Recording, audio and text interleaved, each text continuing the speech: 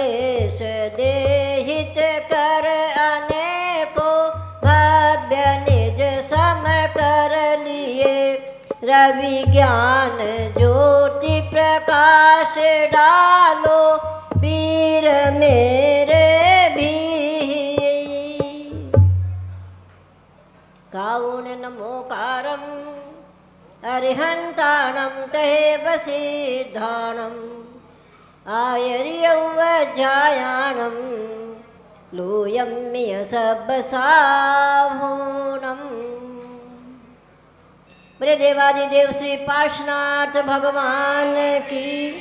बोले श्री चंद्र प्रभु भगवान की जय। बोले आचार्य चार्य चक्रवर्ती श्री शांति सागर जी महाराज की जय।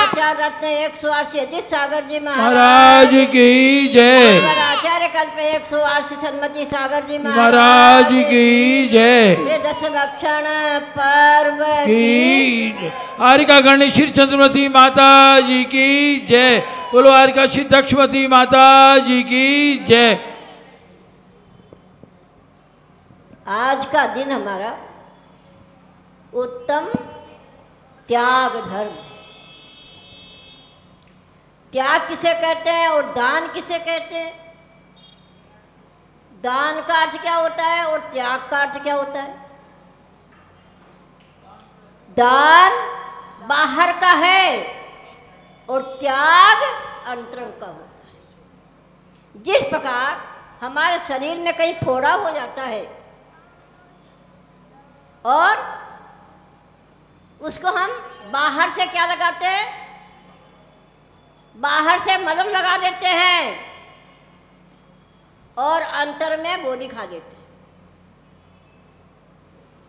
तो दान हमारा बाहर का उपचार है, जो हमने ट्यूब लगाई है। और गोली हमारी अंतरंग का काम है, जो अंतरंग से घाव को नष्ट करती है। त्याग का नाम है, देने के बाद नाम न ले। स्वयं को भी पता न चले कि मैंने क्या दिया। मंदिर में आते हैं, गुप्त दान की पेटियाँ रखी रहती है। चार आदमी सामने देखते होंगे ना, तब जेब में हाथ डालते हैं और गिनते हैं, दस का है कि पचास का है कि पाँच का है कि बीस का है। सबको दिखाते हैं कि मैंने बीस रुपया गुप्त दान में डाला। और बाहर जाके हम कहते भी हैं, भैया, बीस रुपया गुप्त दान में डाल के आया था, अभी गया था सब। परंतु नहीं। गुप्त दान किसे कहते हैं? जेब से निकालो और मुट्ठी बंद करके डाल दो। न तुम्हें पता चले और न दूसरे को पता चले। अपने आप को ही पता नहीं चलेगा तो आप अपने आप को भी बाहर कहीं कह सकते नहीं कि मैंने क्या किया। इसलिए हमारे आचार्य कहते हैं, दान छपा छपा के नहीं, दान छिपा छिपा कर करना चाहिए। जितना छिपा के करोगे, हमारे आचार्य कहते हैं, पुण्य छिपा के करो और पाप को प्रकट कर दो। हमारे से कोई पाप हो गया है तो दस आदमी से कह दो कि मेरे से आज ऐसा काम हो गया, वो क्या है? दस के पाप पहुंचेगा, आपका पाप स्वयं हल्का हो जाएगा, आपका मन भी हल्का हो जाएगा। अगर पुण्य करके हम दस को कहा तो वो पुण्य भी दस में बंटवारा हो जाता है। इसीलिए आज की लाइनें कितनी सुंदर लिखी हुई है जिनवाणी में। दान चार प्रकार, चार संग को दीजिए। धन, बिजली, उनहार। नरभव लाभ दीजिए चार प्रकार का दान। जानते हो चार प्रकार का दान। आहार दान, औषध दान, ज्ञान दान, अभय दान। चार प्रकार का दान होता है, और ये चार प्रकार का दान किसको दिया जाता है? चतुर्विधि संघ को। चतुर्विधि संघ किसे कहते हैं? चतुर्विधि संघ किसे कहते हैं? जिसमें मुनि हो आरिका हो सुलख हो, शुद्धिका हो, ये चतुर्विधि संघ कहलाता है। ऐसे जो चार प्रकार के दान हैं, ये चतुर्विधि संघ को दिया जाता है। साधु को अभय दान क्या दोगे आप? आहार दान तो आहार दान जानते हो। औषध दान दवाई दे दिया आपने। ज्ञान दान, शास्त्र दे दिया। अभय दान किसे कहते हैं? साधु को अभय क्या दोगे? धर्मशाला बनवाना। त्यागी भवन बनवाना। और उनमें साधुओं को ला करके विराजमान करना। ये अभयदान है। अगर ठंडी में साधु आज इस पंचम काल में नदी तट पर अगर बैठ जाएँगे तो सुबह क्या होगा? आज हीन सैनन में जेठ के महीने में अगर पहाड़ पे कहीं साधु रह गए तो क्या होगा? दिन भर तपन। तो कहते हैं, साधु को अभयदान यही है। आज इस पंचम काल में धर्मशाला बनवाइए, त्यागी भवन बनवाइए, उसमें ला करके साधु को बैठाइए। ये उनके लिए अभयदान का कारण होता है। ऐसे चारों प्रकार के दान साधु को चारों प्रकार के साधुओं को दो इसीलिए लेकिन देने के बाद अगर हमारे मन में ईर्ष्या के भाव पैदा हुए, साधु को आहार दान देते हैं। एक घर का आदमी दूसरे घर में साधु को दान देने जाता है, जहाँ बहुत सारे चौके लगते हैं छोटे छोटे गाँवों में दो साधु कहाँ गए? दो साधु कहाँ गए? एक साधु कहाँ आए? तो दूसरे चौके वाले एक दूसरे के चौके में जाकर के आहार देते हैं। ईर्ष्या से जिसके पास पैसा होता है, उसे मान होता है। तो सामने वाले को क्या कहते हैं? तुमने क्या चौका लगाया? चल मेरे घर पे आना, आहार देने के लिए। देखना साधु को क्या क्या दिया जाता है, साधु को आहार कैसे दिया जाता है। अरे भैया, हमारे यहाँ ये भी कहा है कि ये सच्चे प्रमाण। जितनी शक्ति है जिसके घर में तो उस लोग से आहार देता है। तुम्हारे घर में बहुत शक्ति है, तुम अच्छा से आहार दो। एक राजा के आहार होता है, एक श्रावक के यहाँ आहार होता है। अगर ईर्षा से हमने आहार दिया है तो क्या होगा? जितना दिया सब बेकार है। प्रत्येक प्राणी को। दान का बड़ा महत्व कहा गया है। लेकिन त्याग के साथ दान होना चाहिए। त्याग तो सबसे बड़ा मन के विकल्प को दूर करना है। मन में जो हमारी ईर्षा आदि के भाव होते हैं, अनेक प्रकार के परिणाम होते हैं अनेक प्रकार के विचार उत्पन्न होते हैं। उन सबको त्याग करना ही दान का फल देखिए, जम्बू स्वामी एक सेठ के लड़के थे। कौन थे? राजा के नहीं थे वो? जम्बू स्वामी एक सेठ के लड़के थे। उनकी माता ने उन्हें कितने लालन पालन से पाल करके बड़ा किया। और जब जम्बू बड़े हो गए तो उनको वैराग्य की भावना जागृत हो गई। वैराग्य होने से उन्होंने अपनी माँ से कहा कि मुझे तो अब दीक्षा लेनी है।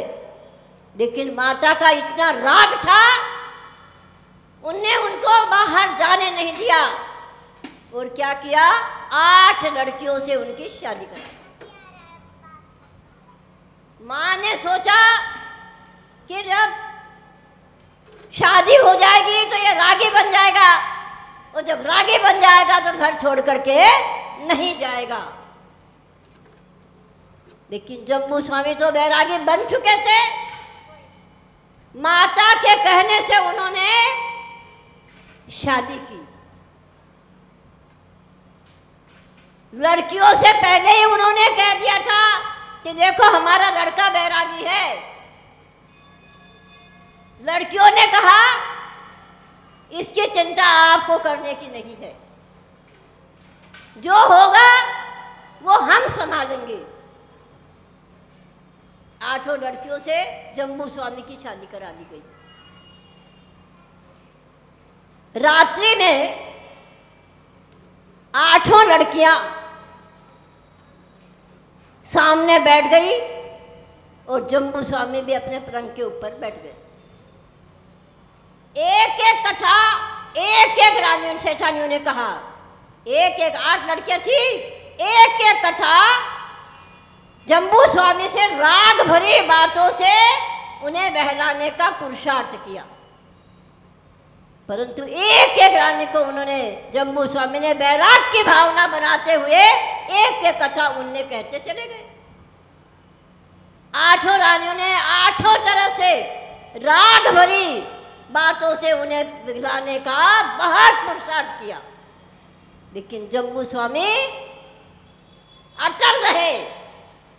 माता उनकी दरवाजे पर बैठी बैठी सब बातें सुन रही थी। कि मेरा बेटा रागी बनेगा कि बैरागी रहेगा। उसको बड़ी चिंता थी। वो दरवाजे के पास बैठ करके सुनती रही। ये सारी चीज़ें रात्रि में महल में हो रही थी। एक चोर आ गया। और सारे घर के कमरे खोल करके बहुत सारा धन इकट्ठा करके आँगन में इकट्ठा कर लिया। चोरी करके चोर ने बहुत सारा धन इकट्ठा कर लिया चौक में ला करके। और सेठानी सब चीज़ बाहर बैठी बैठी कुर्सी पर देख रही थी। जब चार बजे प्रातःकाल और चोर भी उन सब बातों को सुनता रहा।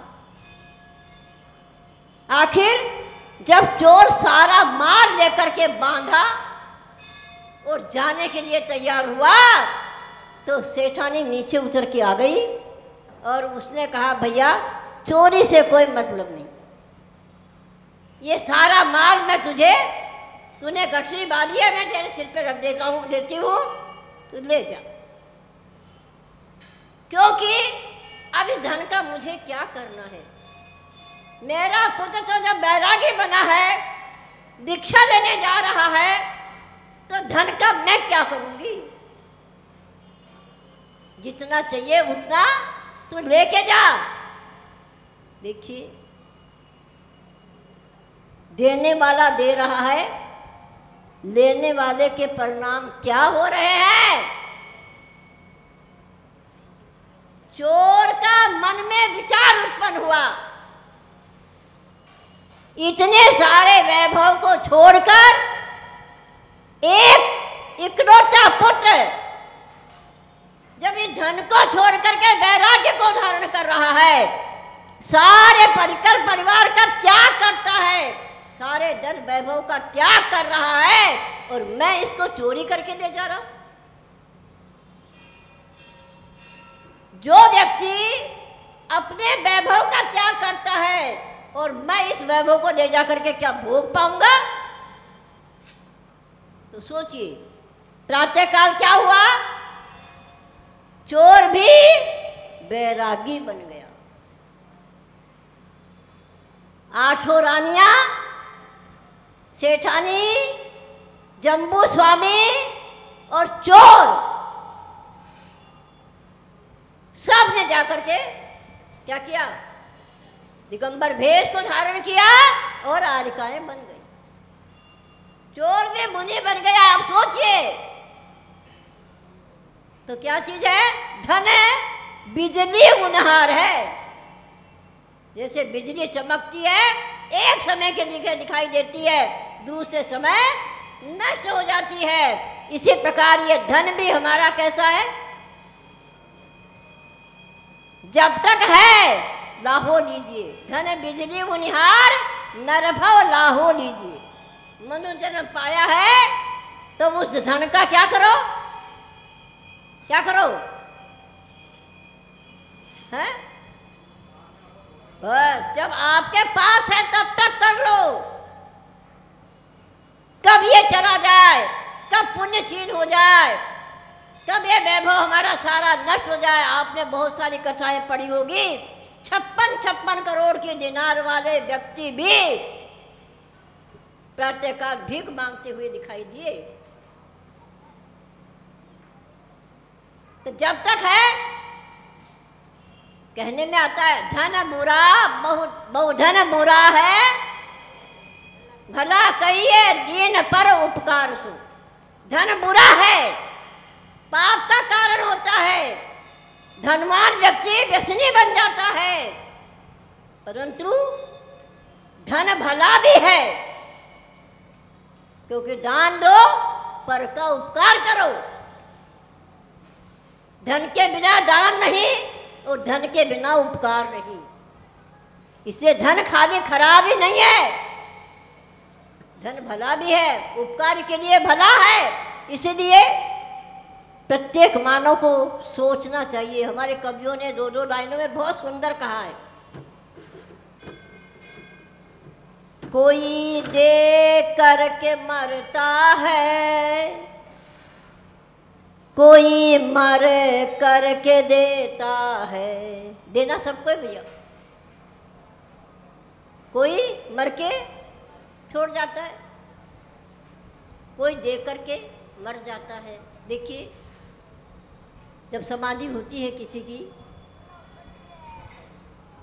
उसको नमोकार मंत्र सुनाया नहीं। उसके पास बहुत धन था, किसी को दिलाया नहीं। और बेचारा हाय हाय करते हुए प्राण छोड़ दिए। और मरने के बाद क्या करते हो? तीसरा करते हो? तेरहवा करते हो? क्या करते हो? है?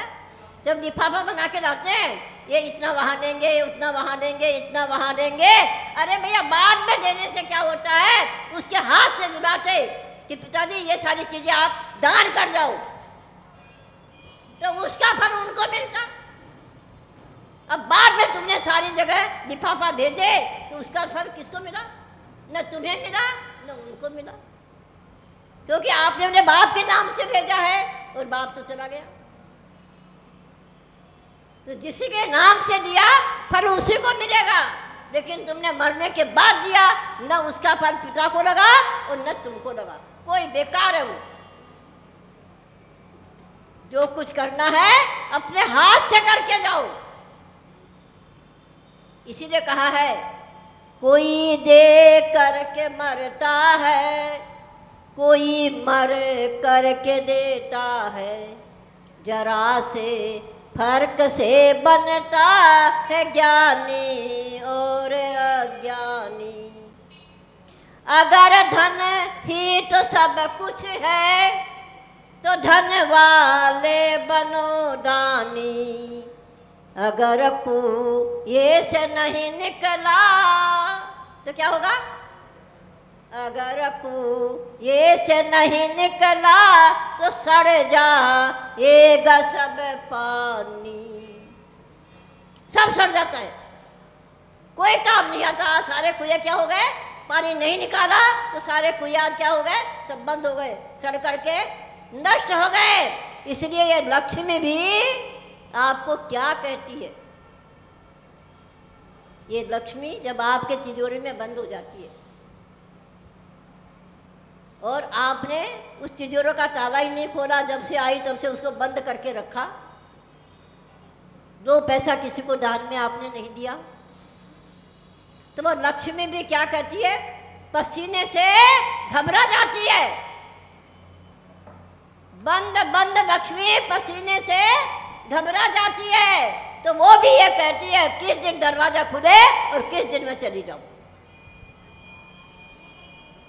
इसी प्रकार से जब तक आपका पुण्य है आपके साथ में, खूब खाओ, खूब खिलाओ, खूब खर्चो, खूब दान दो। दान से कभी लक्ष्मी समाप्त हो सकती नहीं है। दान से जितना कुएँ से निकालोगे, उतना क्या होता है? सीर आती है, कुएँ में सीर आती है। जितना निकालो, उतना ही फिर भर जाता है।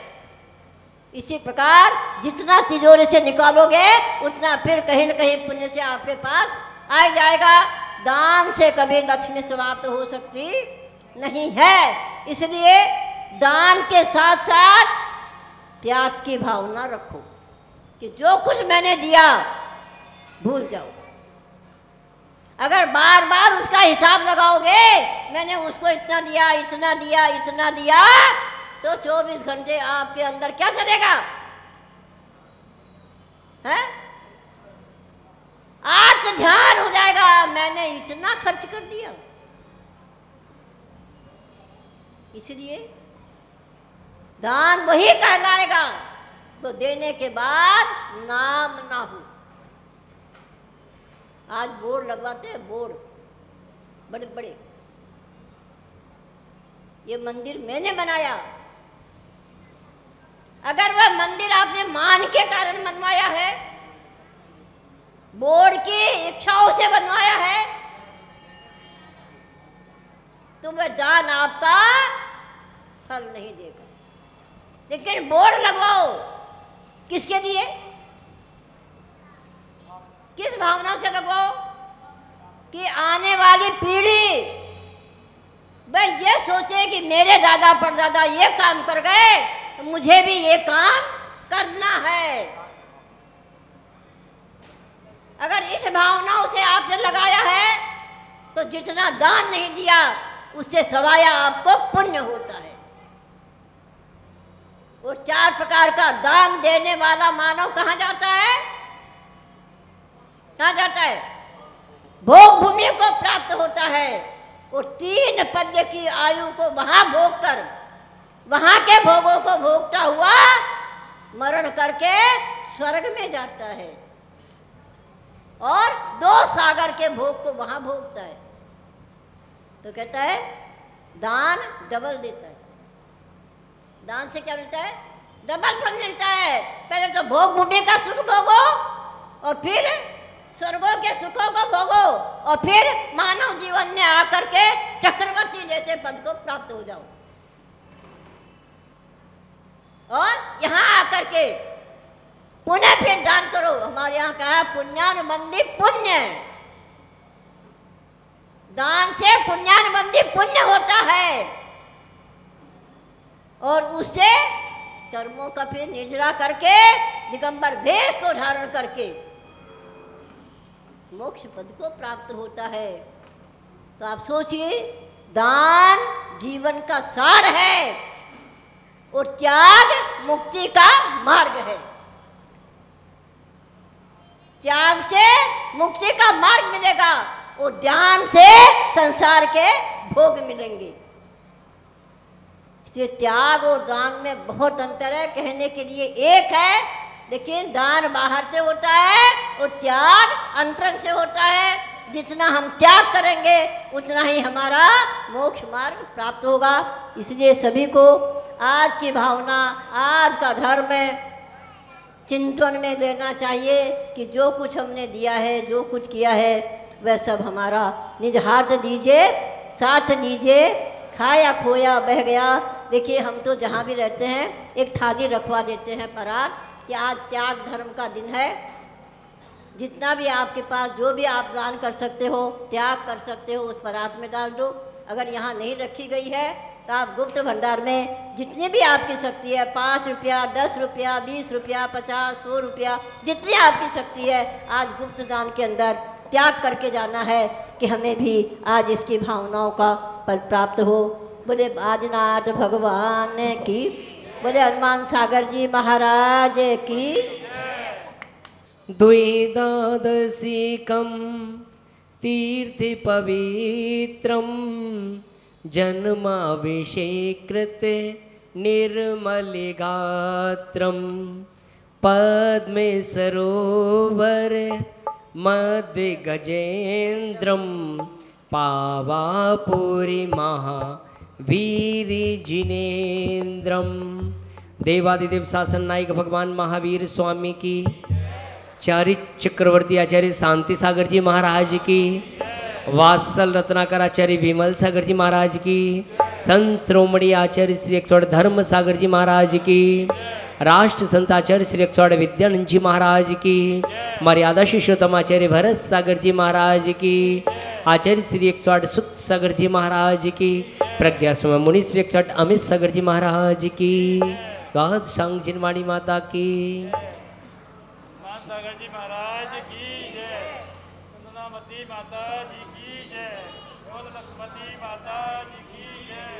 काम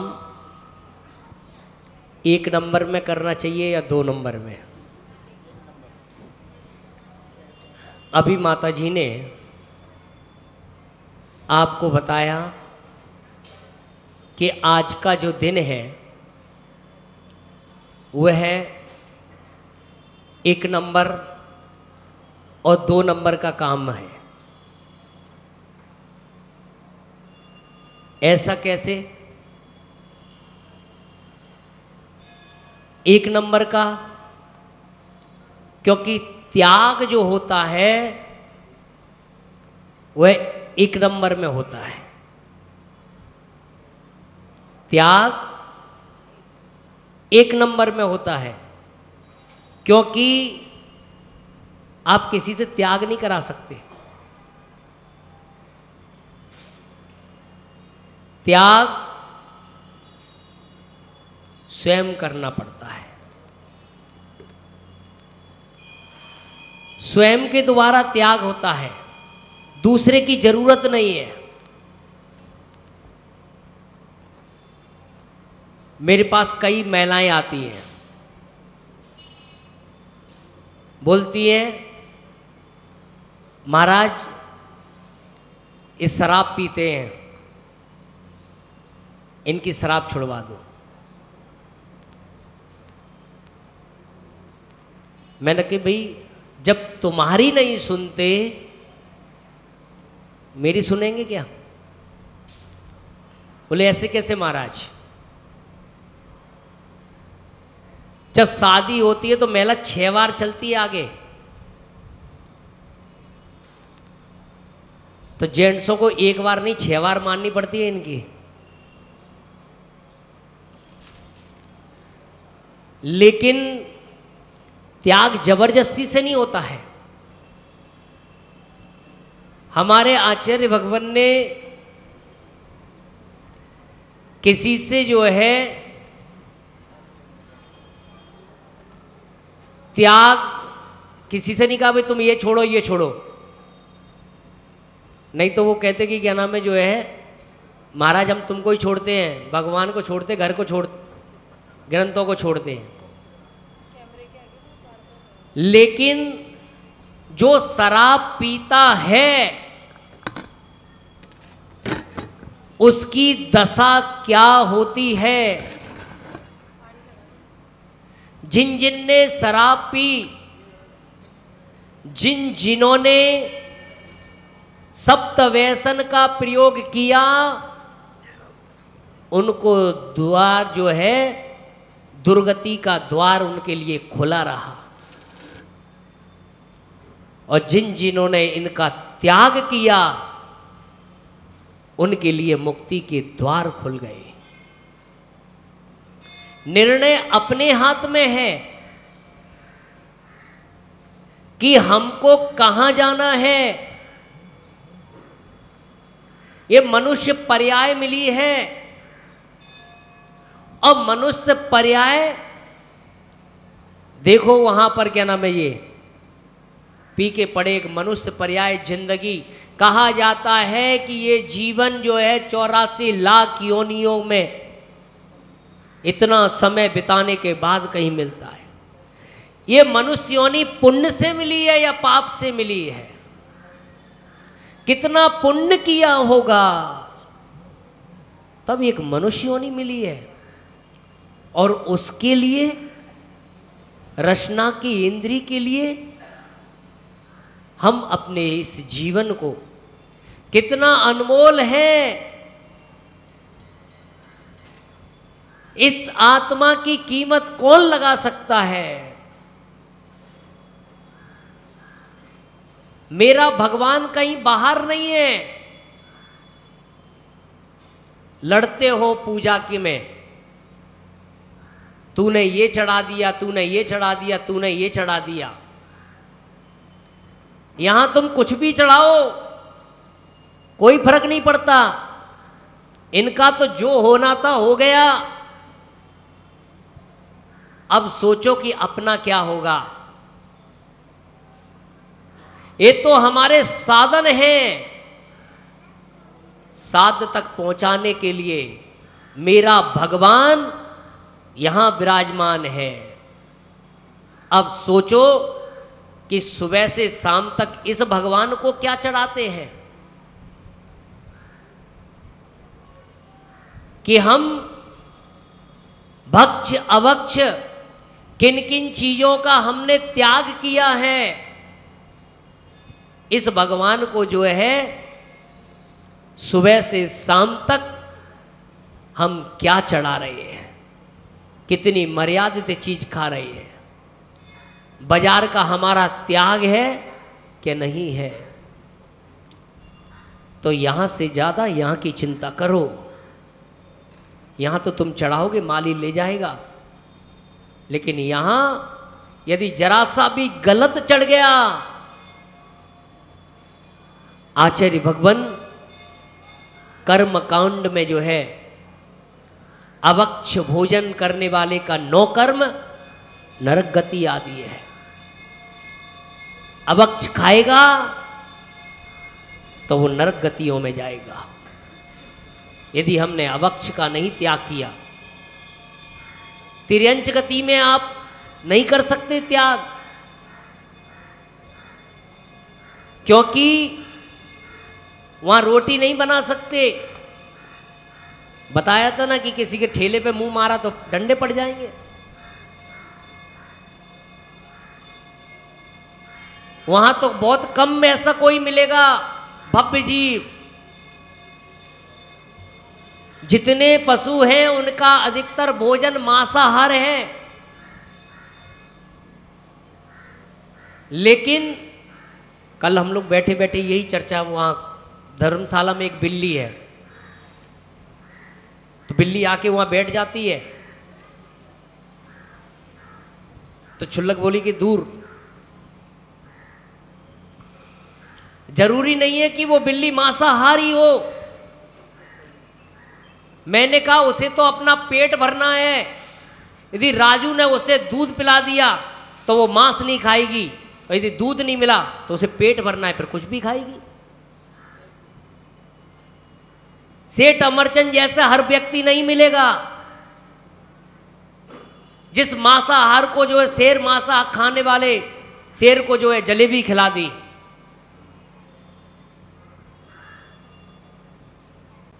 कितने जो है कुत्ते जो है, घर में रहकर रोटी आदि खा रहे हैं। छूट गया उनका मांस। और यदि नहीं ये साधन होते तो वो खाते रहते। लेकिन उनके पास व्यवस्था नहीं है, लेकिन हमारे पास तो व्यवस्थाएँ हैं।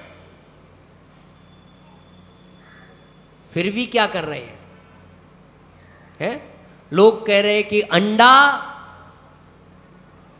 क्या है? शाकाहारी है। अब बताओ कि अंडा शाकाहारी है या मांसाहारी है? हैं? मांसाहारी है। और आप? आप क्या हो? शाकाहारी। क्यों? क्यों? क्योंकि आप क्या नहीं खाते? मांस नहीं खाते? इसलिए आप क्या हो? शाकाहारी। अंडा किसको खाता है? अंडा किसको खाता है? तो वो भी क्या हो गया? वो भी क्या हुआ? वो किसी को खाता तो नहीं है। लेकिन जो है, आपके अंदर क्या है? आपके अंदर क्या है? जीव। यदि आपको कोई खाएगा तो क्या कहलाएगा? तो जो अंडा खाएगा, वो क्या कहलाएगा? तो जो अंडा खाएगा, वो मांसाहारी कहलाएगा।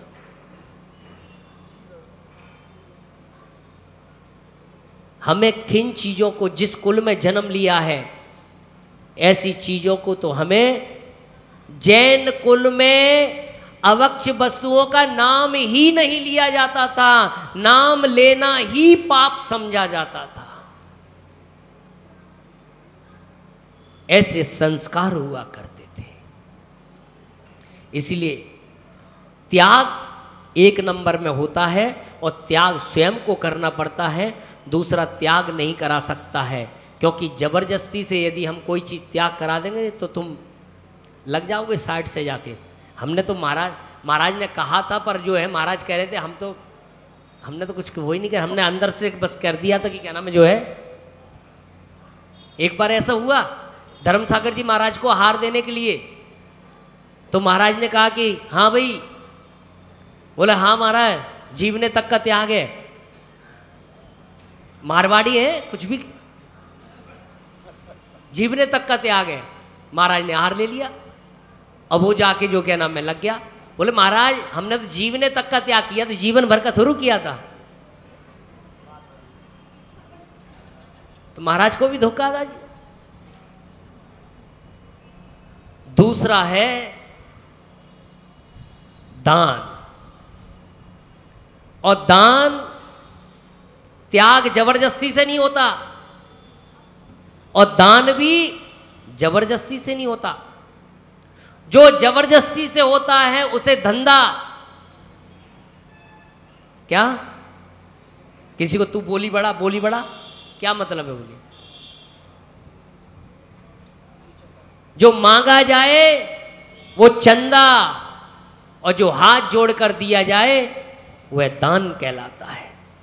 दान स्वयं और पर का कल्याण करने वाला है। इसीलिए दान दो नंबर में होता है। आप अकेले दान नहीं कर सकते। दान के लिए दो चाहिए। एक लेने वाला, दूसरा देने वाला। दो नंबर में पर दो नंबर का नहीं होना चाहिए। दान दो नंबर में होना चाहिए, दो चाहिए, पर दो नंबर का नहीं होना चाहिए। क्या? टैक्स नहीं भरा। मंदिर में हमने छत्र दे दिया। दो नंबर का। पता चला कि चोरी हो गई। दो नंबर में आया तो दो नंबर में गया। ध्यान रखो, मंदिरों में इसीलिए चोरी होती है। दो नंबर के माल की, एक नंबर के माल की चोरी नहीं हो सकती है। दान दान के चार भेद हैं। समदत्ती दान पात्र दत्ती दान करुणा दत्ती दान अनुभय दत्ती दान समदत्ती दान किसे कहते हैं? जब बच्चे का जन्म होता है, तब दस दिन का सूतक लगता है। दस दिन के सूतक उस घर में कुछ भी नहीं होता।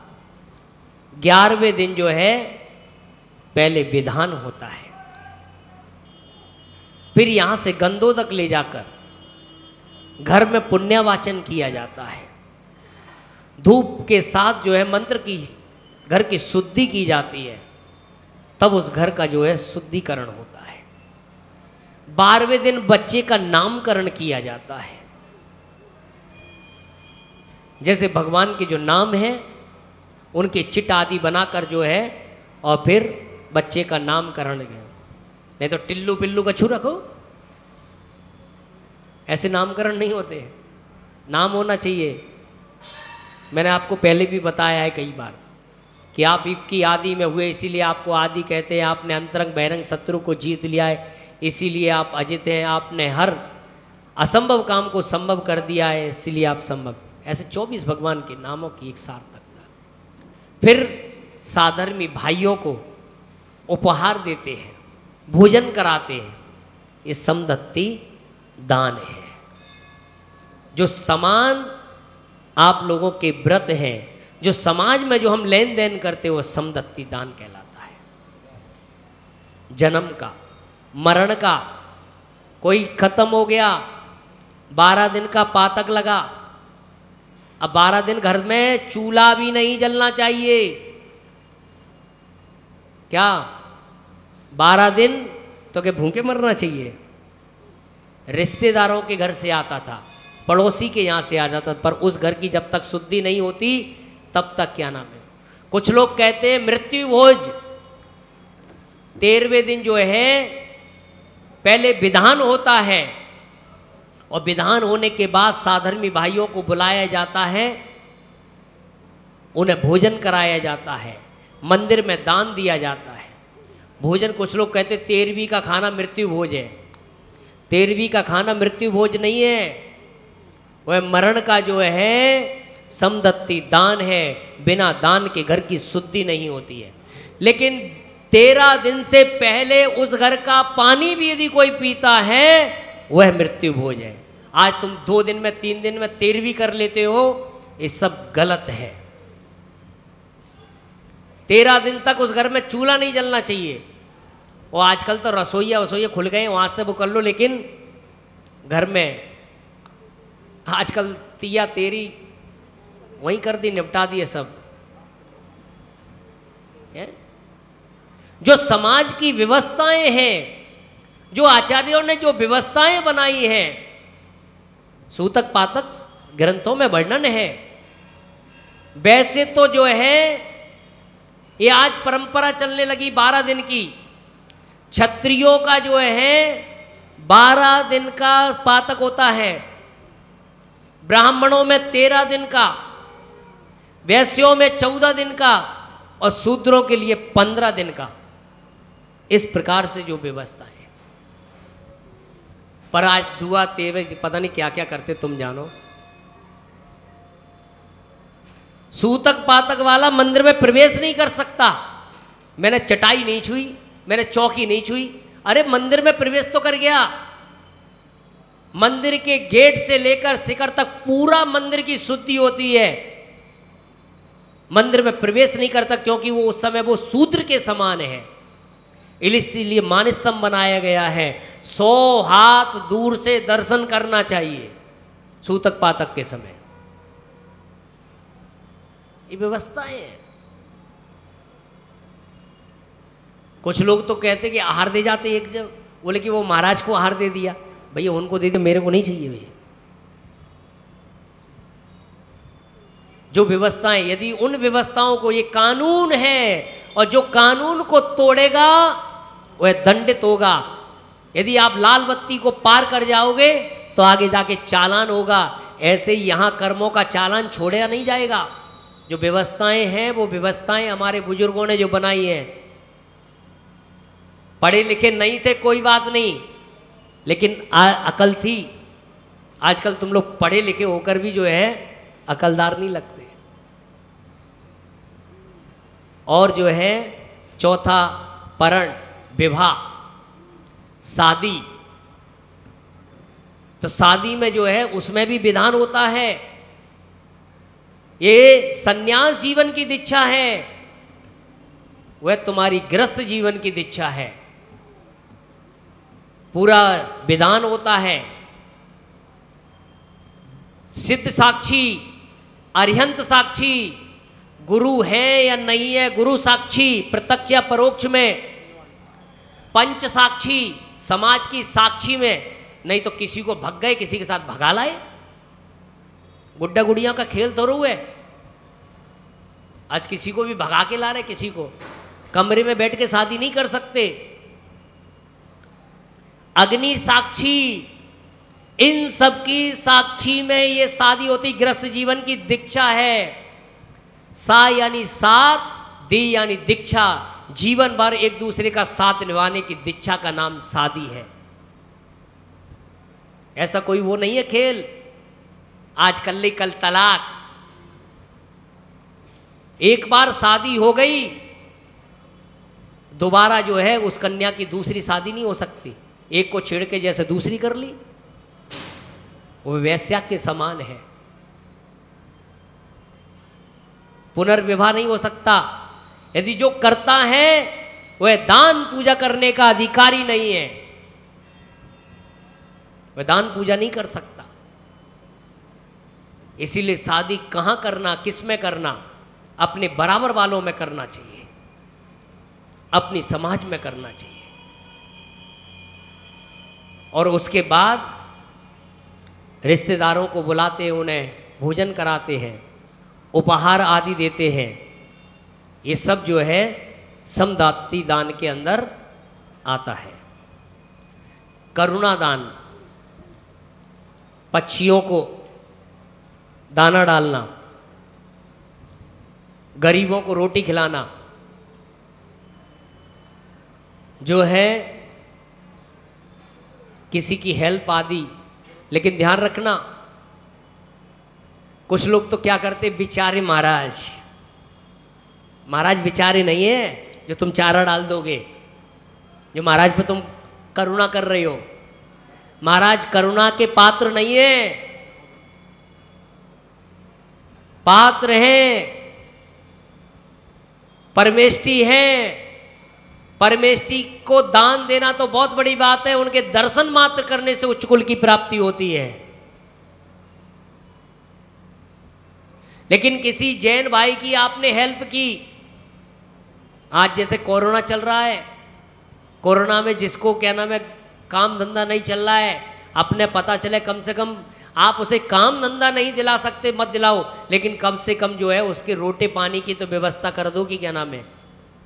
वो कह नहीं सकता। ऐसे कितने जैनी होंगे जो आज जो है, सुबह खा लें तो शाम की व्यवस्था ही नहीं है। सीने में गम हो कितने ही भारी महफिल में मुस्कराना ही पड़ता है। जिन्हें जलने की हसरत है, वो परवाने कहाँ जाएँ? सुनाना भी उन्हें मुश्किल, सुनाने किसे जाए? किससे अपने दिल की बात कहें? कोई सुनने वाला नहीं। उसके बाद पात्रदान किसको? कौन है पात्र? तो जो महाव्रती मुनि आरिका, उत्तम पात्र, छेडालाकार ने जो है मुनि आरिका को मध्यम पात्र में रखा है। जो तीर्थंकर आदि जो है, रिद्धिधारी आदि जो है, ऐसे उत्तम पात्र में।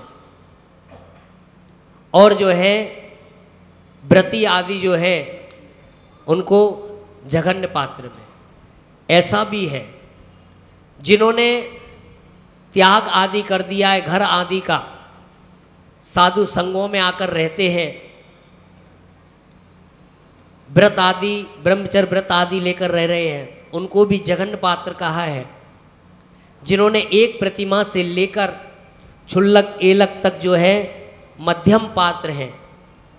और जो है, आरिका और मुनिराज, इनको जो है, उत्तम पात्र का है। कुछ लोग क्या करते हैं? बोले कि आरिका माता जी का पांचवा गुण स्थान है। इसीलिए जो है वो मध्यम पात्र है। चरणान योग गुणस्थान को नहीं, ये कर्णाना योग की व्यवस्था है। चरणान योग आर्यिका माता जी महाव्रती हैं। महाव्रत के संस्कार किए जाते हैं। महाव्रत का पालन करती है। तो उनको भी जो है, उसी उत्तम पात्र में रखा है। अब आज समस्या ये है,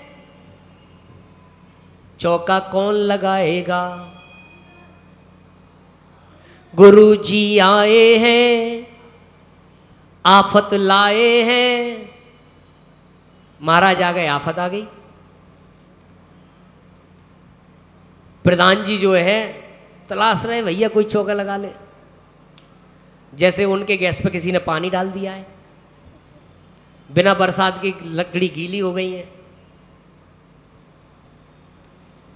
पहला चौका प्रधान का होना चाहिए। अरे कितना सौभाग्य है अपना कि मुनिराज को दान देने का अवसर मिल रहा है, लोग तरसते हैं।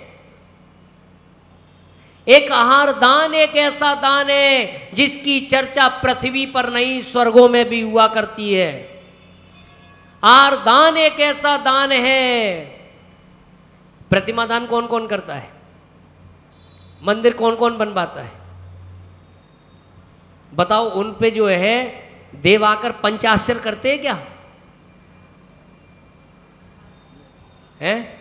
कि तुमने पचास प्रतिमा दे दी तो क्या नाम है जो है, तुम्हारे ऊपर पंचाक्षर तुम्हारे घर पे कर दिए जाए। लेकिन जिस घर में एक मुनिराज का भी यदि यार हो जाता है तो वहाँ स्वर्ग से देव आकर जो है, पंचाक्षर करते, रत्नों की वृष्टि करते, पुष्प वृष्टि करते हैं। सोचो कि दान की कितनी महिमा है। प्रतिमा तो वो देव भी कर सकता है, विराजमान। प्रतिमा तो जो है त्रिंचकती का जीप भी जो है बना सकता है। अपने पैरों से वो करके वो चित्र बना दे। उनके सामने ही आराधना करने लगे। नहीं तो गेट पे बैठ के सुरक्षा कर सकता है। पहले नरक में भी भवनवासियों के वहाँ प्रतिमाएँ हैं। लेकिन मुनि राज को आहार देने के लिए मनुष्य पर्याय चाहिए।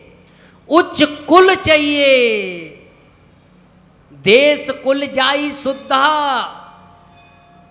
जब तक ये नहीं है, तब तक एक गिलास तुम रख नहीं सकते। कोई सोचे, मैं बहुत पैसे वाला हूँ, मुनिराज को दान दे दूँगा, आर में चौका। वो राजा कहता है, कोई चौका नहीं लगाएगा, मैं मुनिराज को हार दूँगा।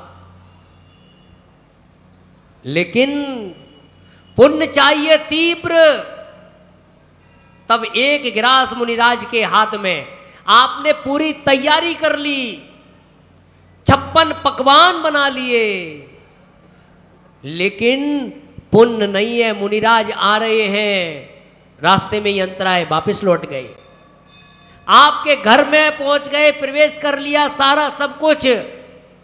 आपने पहले गिरास दिया, पहले गिरास में ही अंतर आया। बिना पुण्य के आप मुनिराज के हाथ में नहीं रख सके, कितने ही बड़े तुम। पैसा हो चाहे कुछ भी हो। पैसे से मुनिराज को नहीं खरीद सकते, पैसे से तुम आहार पुण्य चाहिए। ये सौभाग्य समझना चाहिए, जिन घर में चौका नहीं लगा है, वह घर घर नहीं। क्या है? आचार्य भगवान ने उसको जो है, शमशान और चिड़िया घर की उपमा दी है। सोचो। जहाँ आप तीर्थ आपको जाना पड़ता है, लेकिन ये चलते फिरते तीर्थ आपके यहाँ पर आए हैं। जहाँ संत के चरण पड़ जाते हैं, वह स्थान तीर्थ हो जाता है। जिस घर में आहार होते हैं, वहाँ दरिद्रता, दुख, तकलीफ़, बीमारियाँ आदि जो है, पर चौका तो लगा रहे हैं। हाँ भैया, महाराज आ गए हैं। तुम चौका लगा लेना। अभी नहीं अभी जो है ना परसों देखते संडे को। कहीं व्यवस्था करा दीजिए। संडे को लगाएँगे। हर कोई चौका संडे को देना चाहता है। बाकी दिन हम उपवास करें। छह दिन महाराज भूखे रहो। उपवास करो। है? और नहीं तो आजकल क्या हो गया है? Five star hotel? है? जो है, कहाँ? धर्मशाला। धर्मशाला काय के लिए? है? आहार के लिए कि रहने के लिए? मैं एक जगह गया, चालीस किलोमीटर चल के आया। उस गाँव में 200 घर। मैं पहुँचा शाम को। सुबह का चला, शाम को पहुँचा 40 किलोमीटर चल के आया। बोले कि चौका महाराज जो है धर्मशाला में लगेगा। मैंने कि मैं धर्मशाला में नहीं लेता हूँ मैं। बोले, व्यवस्था नहीं है। मैंने कि 40 किलोमीटर चल के आया तो 15 किलोमीटर में दूसरा गाँव है, वहाँ चला जाऊँ? बोले, ठीक है महाराज। और वैसे मैं सोच के आया थी तीन दिन रुकूँगा। लेकिन जो है, क्या करें, आफत पड़ी है गले, उसको निभाना तो ही। जैसे तैसे कर कुरुई के, और किसी की ससुराल थी वहाँ, और वो भी चांदनी चौक वालों की। और भाई महाराज आ गए तो भाई खबर पहुँची तो भाई चौका लग गया। अब बोले कि महाराज, दो चार दिन रुको। मैंने कि एक दिन की व्यवस्था नहीं है। तुम दो चार दिन की बात करते हो। चतुर्मास में भी, ये तो अभी कोरोना चल रहा है नहीं, जिस घर में एक बार आहार करता हूँ, दोबारा नहीं जाता हूँ। मेरे को तो रोटी खानी है, कहीं भी खिला दो, उससे कोई फ़र्क लेकिन घर में चौका लगेगा, आपके परिणामों में भी विशुद्धि होगी। ये तुम्हारा दान नहीं है, मंदिर में लग रहा है, वहाँ चौके में जो है। अब यहाँ तो महाराज हार कर रहे हैं। एक गिलास दिया, नमोस्तु महाराज, भग गई। अब एक रहेगी अब वो जैसे तैसे कर रही है। हाय। हाय करते करते जो है, लगी पड़ी है। अब वो हाय हाय करके महाराज को हार बना हाय हाय करके जो हार दिया जा रहा है, फिर पता चला कि महाराज को भी हाय हाय हो रही है। है? जैसे परिणामों से दोगे, अब एक छुड़ा रहे एक दूसरे। कटोरी छीन रहे वो चार महिलाएँ अब जैसे परिणाम फिर कह रहे, महाराज गुस्सा कर रहे तुमने गुस्से में दिया तो महाराज गुस्सा कर रहे अब वो चार महिलाएँ, जीजी, तुम नमक ले आई हो जीजी, तुम बूरा ले आई हो जीजा, तुम फिटकरी ले आई हो जीजी, तुम सरप ले आई हो अब पता ही नहीं है कौन सी पुड़िया में क्या रखा है। अब बूरे की जगह तुम जो है, क्या नाम है, उसमें सरप डाल रहे हो। अब खीर जो है रही हो रही है। पता ही नहीं अम्मा ने कौन सी पुड़िया में क्या रखा था। डर गया। आज तो बड़ी स्वादिष्ट बन रही जी आज तो दूध, पता नहीं काय का दूध था जो आज तो फंसू कर दे रहा है। नमक की जगह फिटकरी। चौका नहीं है। अब घर में तुम्हारे चौका लगे, तुम भक्के जाओगे कहाँ? घर में चौका लगा है। बच्चों को संस्कार पड़ेंगे। यदि एक बार बच्चे ने जिसने आर देख लिया है, तुमने उस क्रिया को पचास साल के लिए जीवंत कर दिया। कभी इसको मौका मिलेगा तो देखेगा कि हाँ मेरे घर में चौका हुआ था। है? देखने का कितना प्रभाव पड़ता है, देने का कितना, अरे, इस जन्म की बात देखिए इस जन्म में देखेगा तो कभी ना कभी तो याद आ ही जाएगा। अरे राजा श्रेयांश ने जो है पूर्व भवों में दिया था और जो है उस भव में याद आ गया। तब आर दे लिया, नहीं तो पूर्व भव में नहीं देते तो कर दे देते। उनको भूखे रहना पड़ता। लेकिन आज श्रियांश नाथ का नाम किसी दीवाल पे नहीं लिखा। उन्होंने आहार दिया था और आज हर व्यक्ति के दिल में लिखा हुआ है उनका नाम। कई गाँव में देखो कई महिला जो है, रोज चौका, कोई साधु आ जाए, चौका लगाती है। और बड़े महाराज आ गए, पैसा ले लो मुझसे, चौका लगाएँगे, हम लड़ रहे वो तुम्हारा दान नहीं है। जो ऐसा भेद करता है कि मैं बड़े महाराज का लगाऊँगा, आचार्य का लगाऊँगा, उनका लगाऊँगा, मेरे महाराज का लगाऊँगा, वह उनका कोई दान नहीं है, ना वो भक्त है, जो ऐसा भेदभाव करता है जिन मुद्रा में, क्योंकि ये मुद्रा जिनेन्द्र भगवान की मुद्रा है, और भक्त उसे कहते हैं जिसके अंदर भेदभाव नहीं होता। वह भक्त कहलाता है। कोई साधु आ जाए, छोटा हो, बड़ा हो, प्रवचन करना जानता हो, नहीं जानता हो, बस जिन मुद्रा है, हमें तो जिन मुद्रा की चर्या का पालन कराना है। ऐसा भक्त होता है। अपने जीवन में, और एक आहार करा दो, आहार कराने में चारों ही दान समाहित हो जाते हैं। ये चलते फिरते तीर्थ हैं। आज के संत कल के अरिहंत होंगे। संत जहाँ पर जाते हैं, इतिहास नया रचाते हैं, मुट्ठी भर यदि खाते हैं तो दोनों हाथ लुटाते हैं। इन संतों के सम्मानों में जिस रोज कमी आ जाएगी, सच कहता हूँ, यारो दुनिया उसी रोज मिट जाएगी। इन संतों के जो है, आज कोई भी साधु है, हमें कभी भी भेदभाव न करके कोई भी साधु हो, जिसके हाथ में संयम का उपकरण है, ऐसे हमें साधु की चर्या का निर्वाह करना चाहिए, अपने आप को सौभाग्य समझना चाहिए और चौका जो है, घर में ही आदि जो है, लगाना चाहिए, वही चौका कहलाता है। ये तो चलो अभी कोरोना आदि व्यवस्था वाली अलग बात है, बाकी का और उत्साहपूर्वक, यदि समाज में पचास घर भी हैं, एक एक घर में भी एक एक दिन चौका लगे तो भी जो है सालों में नंबर आएगा। लेकिन किसी के कहने पे लगाया है तो वो तुम्हारा ध्यान रखना।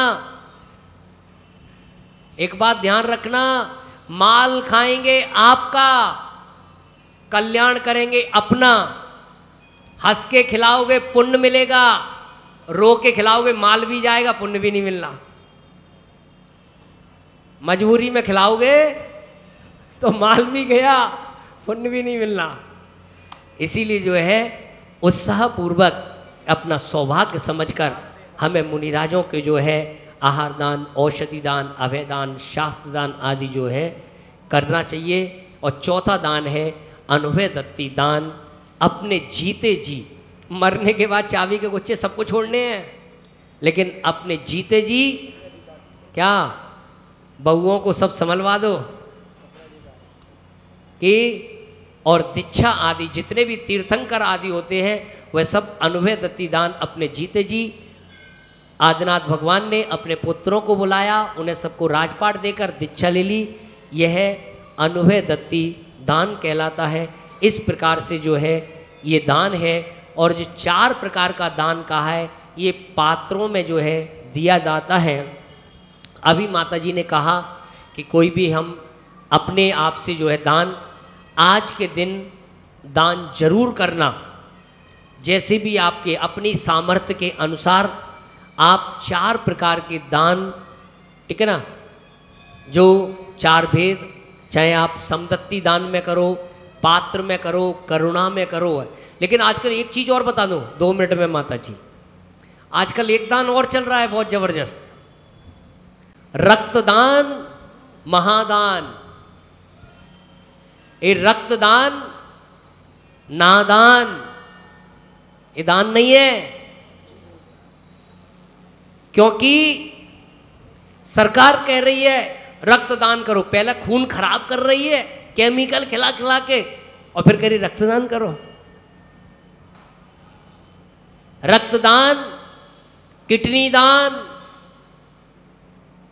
काय काय का ट्रांसफ़र होता है जो पता नहीं तुम्हारे जो में। आजकल लीवर आँखें दान रक्त आँखें दान कर देते बताओ। फिर अभी तो तुमने आँखें दान कर दी। और अगले जन्म में नेत्र दान करने के बाद अगले जन्म में घूम रहे अंधे। अब बताओ बच्चा जो जन्म से ही अंधा पैदा हुआ है कहाँ गई उसकी आँखें? क्योंकि पहले उसने आँखों का दान दिया। अब वो दा आँखें क्यों नहीं मिली? क्योंकि मांस दान करने का तुम्हें क्या मिलेगा? मांस दान दिया है।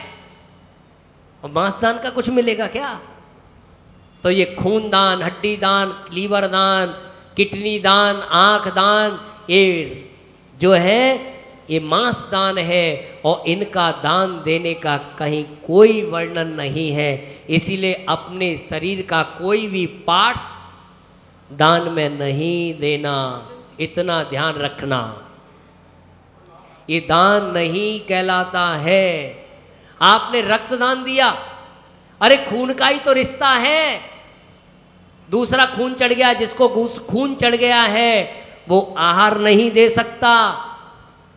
जिसके शरीर में कोई दूसरे पार्ट्स आदि लग गए हैं वह आहार नहीं दे सकता।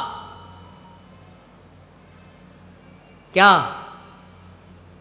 जिसकी जो है, आप वैसे भगवान महावीर ने कहा है कि उपचार कीजिए। आप जैसे भी जो भी हो सकता है उसे बचाने का प्रयास कीजिए। और यदि नहीं बचने की उम्मीद है तो उसे नमोकार मंत्र सुनाकर उसके परिणामों में निर्मलता लाइए। लेकिन ऐसा नहीं कि अपना हाथ अपना वो काट कूट के उसके लगा दो। ये दान नहीं कहलाता है तो इन चीज़ों का हमें विशेष करके जो है कुछ लोगों ने आँखें वाँखें दान कर दी है क्या? हाँ ध्यान रख लेना। नहीं पता चला कि अगले जन्म में अब तुम्हारी इमरजेंसी कौन सी लगी, वो मेरे को मतलब नहीं जो है वो मैंने बता दी, बाकी तुम क्या करोगे मेरे में।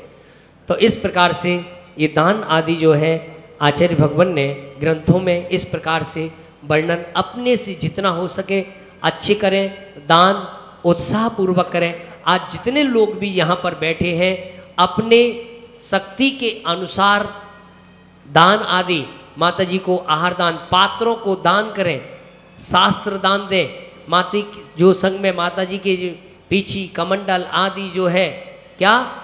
कि साधुओं के उपकरण आदि जो है, इनकी व्यवस्थाएँ आदि जो है, कहना नहीं पड़े।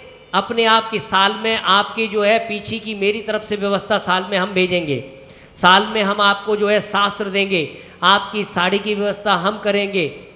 आपका जो है, बिहार हम कराएँगे एक महीने तक। आपके जो है चौके जो है पाँच दिन हम लगाएँगे। ये पुण्य कमाने का अवसर है।